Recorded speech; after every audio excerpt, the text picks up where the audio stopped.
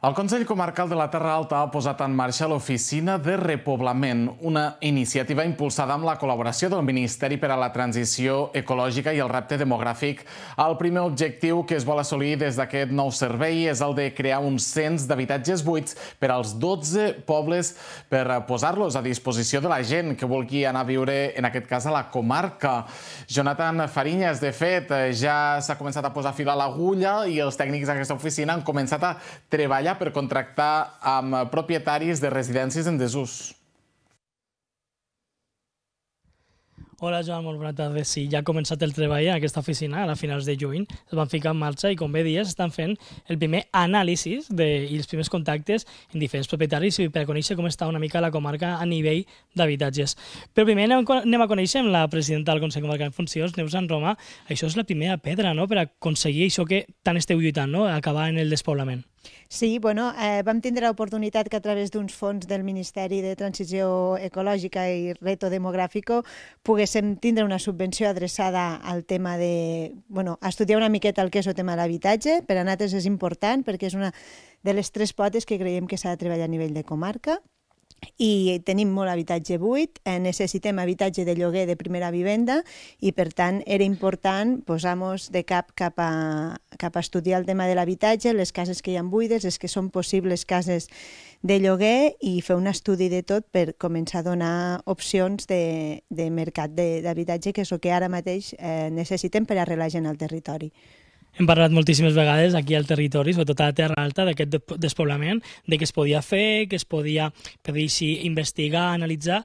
Aquesta oficina és aquest primer pas, però sobretot tindre aquest llistat d'habitatges és molt important. És important perquè si no tenim clar quins habitatges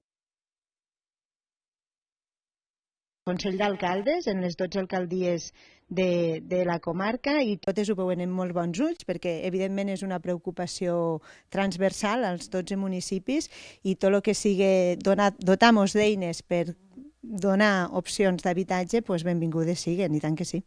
I sobretot consens, no? perquè al final és una cosa que afecta a tota la comarca, als 12 municipis, i tothom ja està eh, ficant-se a disposició del Consell.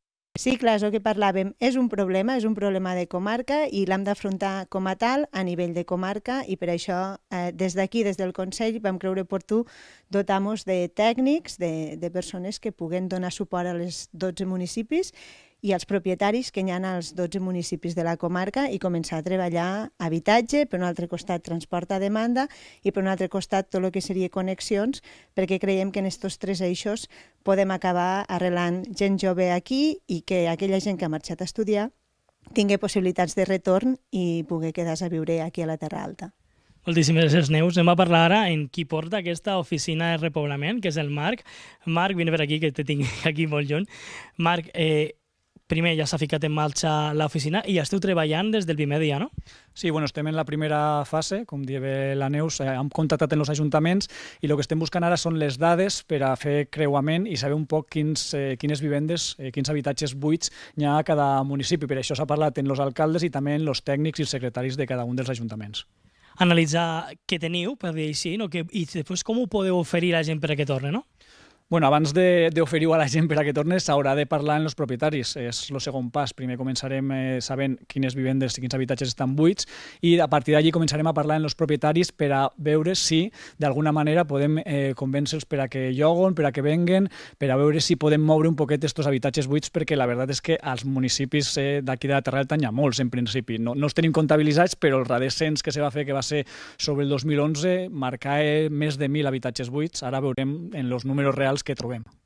I no només eh, parlem d'habitatge, sinó també d'altres pates, com deia ben la Neus, no? mobilitat i, i analitzar una mica per què aquest despoblament a la Terra Alta. El, eh, com deia la Neus, el, la primera pota és l'habitatge, vindrà un poquet eh, després, i bàsicament eh, eh, parlem de despoblament, però el que, lo que se vol fer és arrelament. No volem parlar tant de, de per què se despoble, sinó el que volem fer és que, que la gent se, se, quedo, se quedo al territori. Moltíssimes gràcies. Pues aquesta és la proposta i el treball que s'està fent des d'aquesta oficina que va començar a finals de juny. La idea és això, repoblament per un costat, però sobretot el que dia al Marc, és l'arrelament de la gent jove que pugui quedar aquí, que tingui oportunitats tant de vivenda com de mobilitat i també de treball.